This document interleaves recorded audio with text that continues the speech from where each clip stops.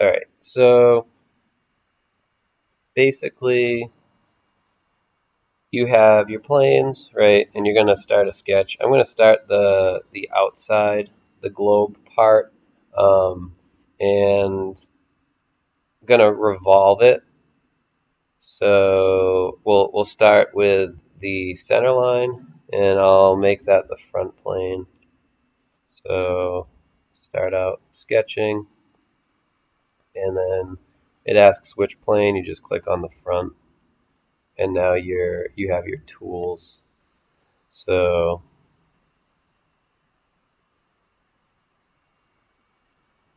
um, it looks like I'm in inches, so we're going to want to change the units. So to do that, you're going to go up here next to Onshape, Workspace Units, and then I'm going to go to millimeters and check that off.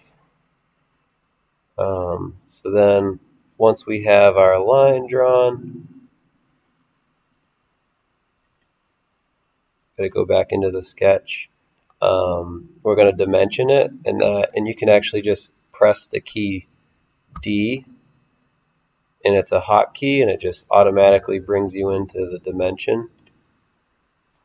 So just click it, just like SolidWorks, and then our center line uh, we'll make it 185.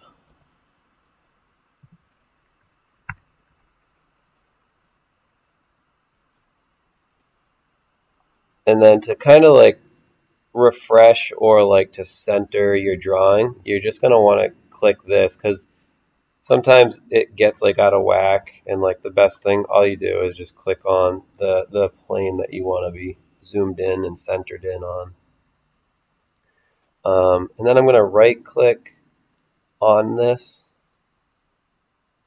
and oh, I actually have to escape dimension first and then I'm going to right click on it. And then I'm going to click on construction and that just makes it a construction line. So from here, um, I'm going to create a a radius. So the radius the radius of 60 and again you can um, I like I like using this the search for tools because it's just an easier way especially when you don't know the program that well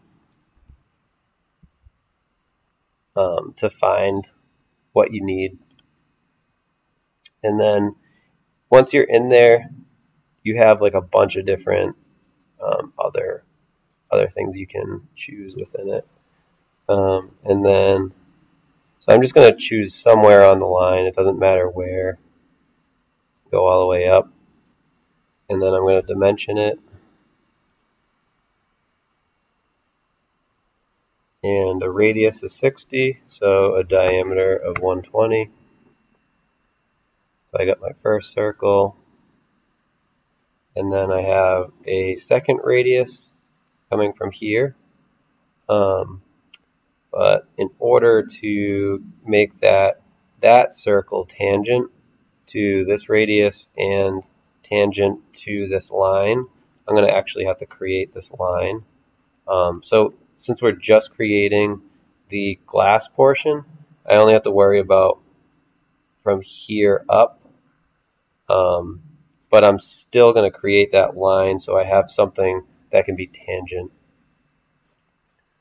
So I'm going to start at the bottom and I'm just going to go and these are these are going to be for construction too really because we're not going to keep them um, and I'm going to go from here out and then up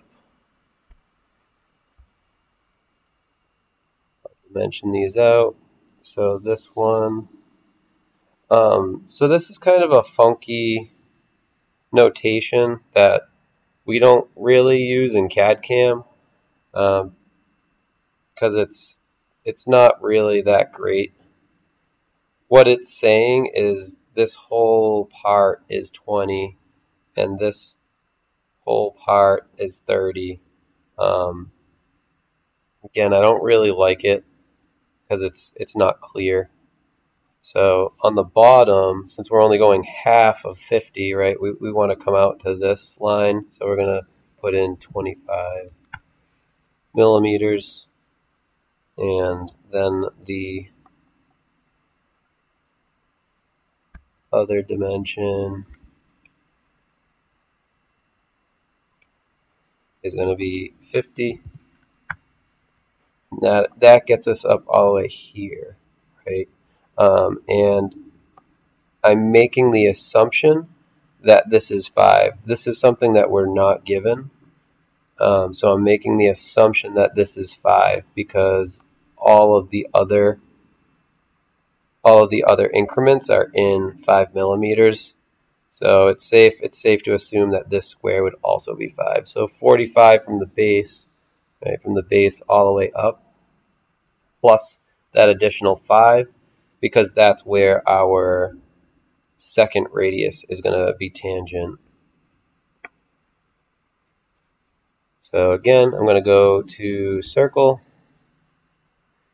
And this time I'm going to use a three-point circle. And that's because I'm going to be so I don't know it doesn't it doesn't specify where the center point of the radius is, but we know that it's tangent to the curve uh, of this circle, and it's tangent to this. And I'm just gonna I'm just gonna bump this out a little bit, and then I'm gonna I'm gonna create the, that geometry. So um,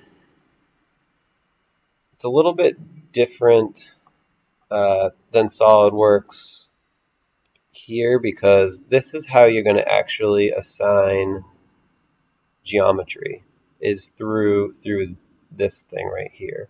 So we know that this circle needs to be tangent with that curve and it needs to be tangent with this line. So once we have we we've specified two tangent um, lines. So now we have we have this setup. We have the two uh, circles with tangent points, and if you, what I don't, what I'm, I'm not, there's probably a way to display that these are tangent, but I, I haven't found that yet. Again, I'm I'm way better at SolidWorks too, um, so this is it's a learning curve for me too, but we'll get there. Um, so now I'm going to dimension this out because in like SolidWorks, if it's blue, it means that it's not fully defined. So I'm going to dimension this, and then that should um, radius, so it's going to be 80.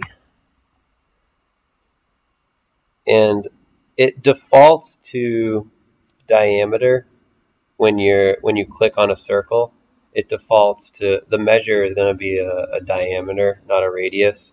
So whenever you're so just get in the habit of doubling. Um, and now, so since we have we have the glass portion, right? We have the glass geometry. Um, the last thing I'm going to do is close it off. So I'm going to select. I'm going to hit the hotkey L. That'll bring me into a line and then I'm going to draw a straight line here and then I'm going to start trimming and trimming is a hotkey M I don't know why um, it's M but it's M so then I'm just going to start selecting regions so it's it's kind of cool in the way that it, it shows you what which region region you're going to trim off before you do it. So it's going to select that region. Then I'm going to select this region. Select this region. And now um, I can make these lines for construction because they're they're not to be. I don't want to get rid of them though because they're actually making making my sketch fully defined. So I'm going to ex exit out of the, the trim, trim function, so just hit escape. And then I can right click on this line, make it for construction, make that for construction. So again, we don't have um, any um, actually, this is going to be for construction too. Because we're going to be revolving, we're going to be revolving it, so we, we actually don't need that. Um, we're going to be revolving this piece, the glass piece, around this. Um, but we do need a thickness because we don't want we don't want to revolve this entire section. And the thickness of a glass bulb, um, we're going to use 0.2 millimeters. So, and we're going to, it, it's just going to be an offset. We're going to create an offset. So again, I don't know where all my tools are, but I know what they're called. So Alt C offset. I'm going to click that. It brings me in. Um, this offset is a little bit, um, it's different but I mean, you, you basically. So what I've noticed that's different about Onshape is that everything is kind of presented in the drawing space, where where more with SolidWorks things are presented over here in in your uh, command manager. So I'm going to actually you you actually just do more things in the actual drawing space, um, which is good and bad. Like like anything else, it has like right now I'm not sure how to. Oh, okay, so that's how you do it. So you you click it, you click it, and then um, it it goes to the next command. So there you go. Um, two millimeters and again, I get into this habit because of SolidWorks, like I keep trying to zoom out. You just click on that front face and it'll center everything for you. Now I'm going to make sure that these are connected.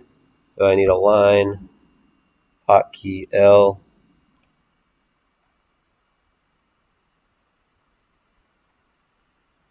Alright, I'm doing it again. Alright, now I'll go down here.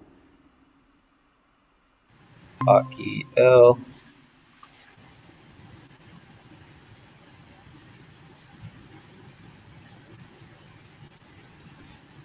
And now we have a globe that we can revolve.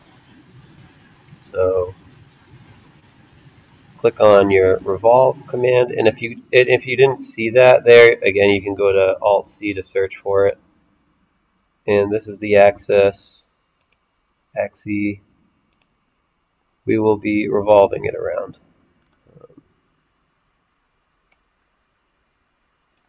So that's the first part of light bulb